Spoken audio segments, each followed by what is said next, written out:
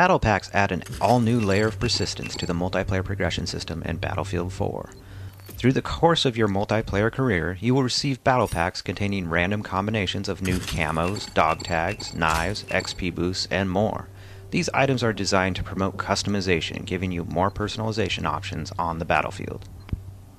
Battle packs are earned at regular intervals as you achieve new ranks. Once earned, battle packs must be opened before you can use the items contained within. You can open battle packs from the game's My Soldier interface, the game menu, or through battle log. Attachments unlocked through battle packs can then be applied to your weapons. For instance, this Scar H can now be fitted with the Coyote red dot sight and R2 suppressor.